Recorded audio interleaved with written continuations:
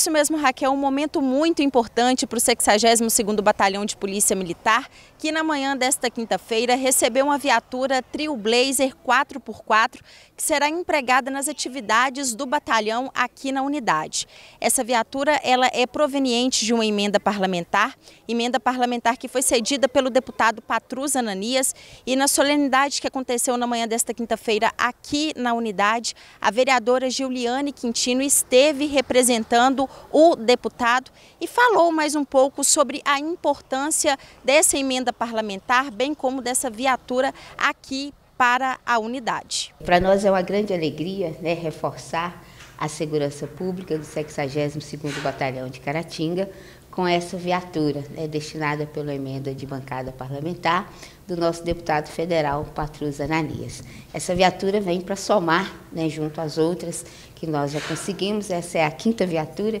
que a gente consegue para o batalhão,